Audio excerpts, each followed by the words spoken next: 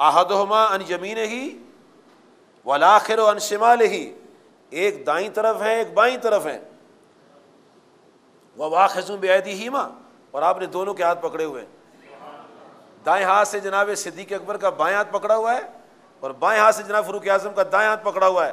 اور تینوں درمیان میں وہ شخصیت ہے کہ جن کے بارے میں کائنات یہ جانتی ہے کہ واہ سن من قلم ترکت تو عینی وہ اجمل من قلم تلد نساؤ کہ محبوب علیہ السلام السلام میری آنکھ نے آپ سے بڑھ کر کوئی ہنسی دیکھا ہی نہیں ہے۔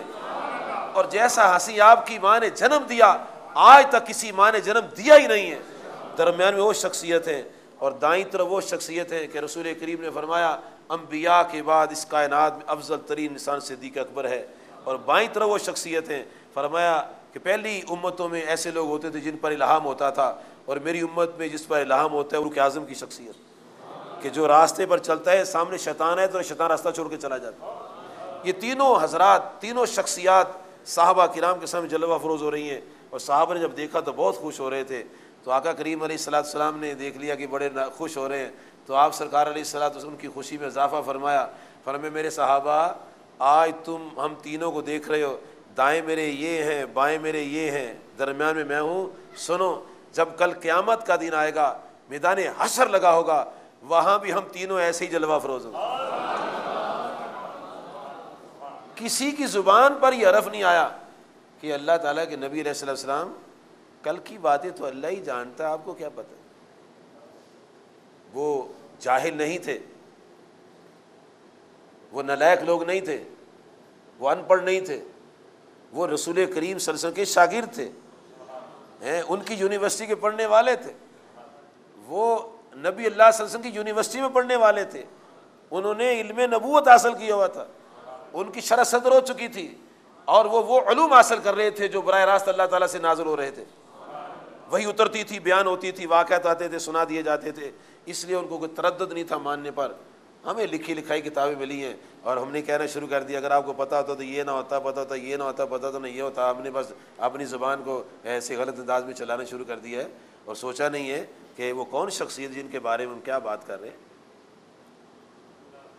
صحابہ کرام ان سے محبت کرتے تھے، ان کے دیوانے تھے، اپنے ماں باپ کو قربان کرتے تھے، اپنی جانوں کو قربان کرتے تھے۔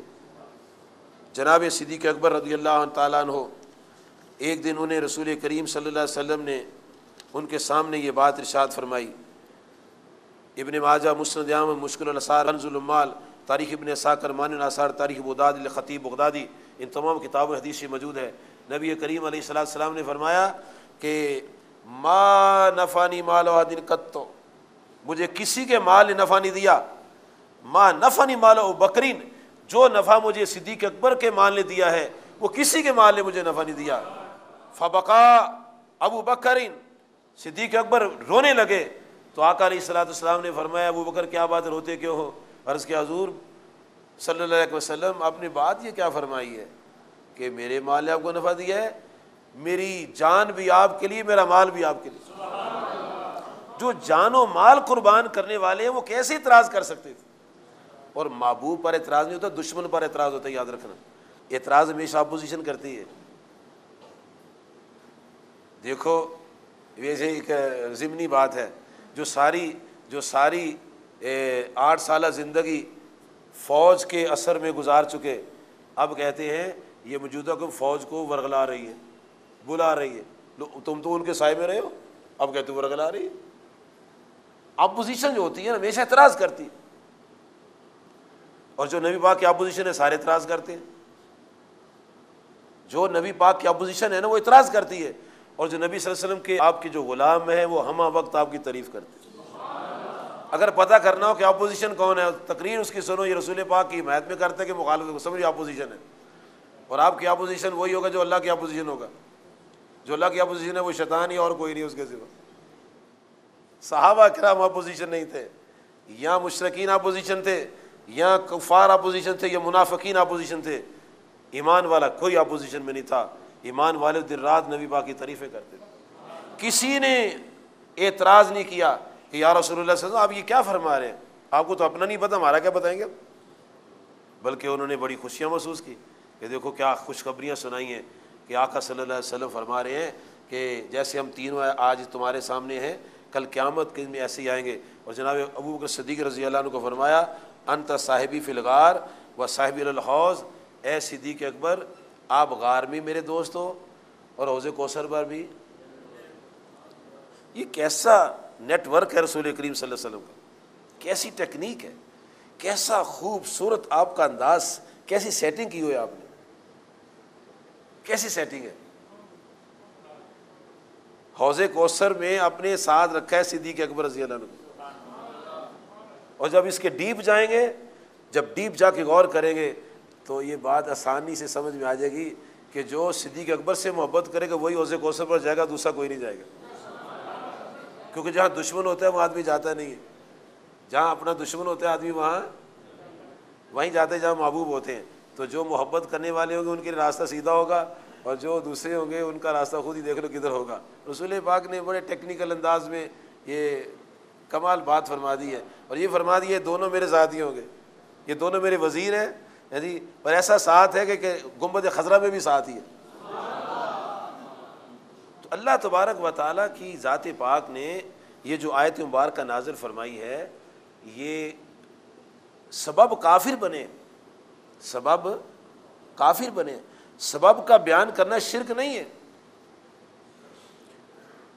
سبب کا بیان کرنا توحید کیا مطابق ہے۔ جس سبب سے بات ہو، جس ذریعے سے بات بنے اس سبب کو بیان کرنا شرک نہیں ہوتا۔ سبب کافر بنے ہیں، آرڈر اللہ کریم کا ہے۔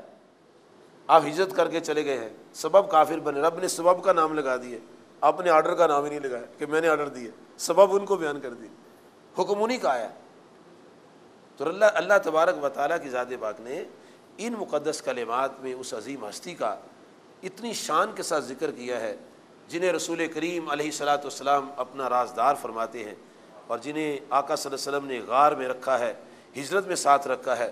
پیچھے چھوڑ کے آنا اتنا خطرناک نہیں تھا جتنا ساتھ لے جانا خطرناک تھا۔ تو خطرناک سفر میں جناب جناب صدیق اکبر رضی اللہ عنہ جا رہے تھے، تو کبھی پیچھے آتے تھے، کبھی آگے آتے تھے، کبھی دائیں آتے تھے، کبھی بائیں آتے تھے۔ تو نبی کریم علیہ السلام سے فرماتے ہیں، ابو بکر، یہ کیا کرتے ہو؟ کبھی دائیں، کبھی بائیں، کبھی آگے، کبھی پیچھے۔ تو عرض کیا میرے کریم آقا علیہ السلام السلام جب مجھے خیال آتا ہے کہ دشمن دائیں طرف سے نہ آ جائے تو میں دائیں طرف ہو جاتا ہوں۔ جب خیال آتا ہے دشمن بائیں طرف سے نہ آ جائے تو میں بائیں طرف ہو جاتا ہوں۔ جب خیال آتا ہے دشمن سامنے سے نہ آ جائے تو میں سامنے ہو جاتا ہوں۔ جب خیال آتا ہے دشمن پیچھے سے نہ آ جائے تو پیچھے ہو جاتا ہوں۔ پر میں ایسا کیوں کرتے ہو؟ حضور میرے ماں باپ قربان جائیں، ایسا میں اس لیے کرتا ہوں، اگر دشمن اذیت پہنچائے تو مجھے پہنچائے، آپ کو اذیت نہ پہنچائے۔ ان سے محبت کرنا، حضور سلسل سے محبت کرنا ہے۔ کیونکہ ان سے حضور کریم صلی اللہ علیہ وسلم محبت کرتے ہیں۔ اور آقا صلی اللہ علیہ وسلم نے یہ بڑے واضح کلمات میں فرما دیا کہ تمام مردوں میں سب سے زیادہ میں محبت صدیق اکبر ضلع سے کرتا ہوں۔ تو جن سے وہ محبت کرتے ہیں، ہمیں ان سے محبت کرنی ہے اور ان جیسی محبت کر کے اپنی آخرت کو سنوارنا ہے۔ اللہ تبارک و تعالیٰ مجھے اور آپ کو اس کی توفیق عطا فرمائے۔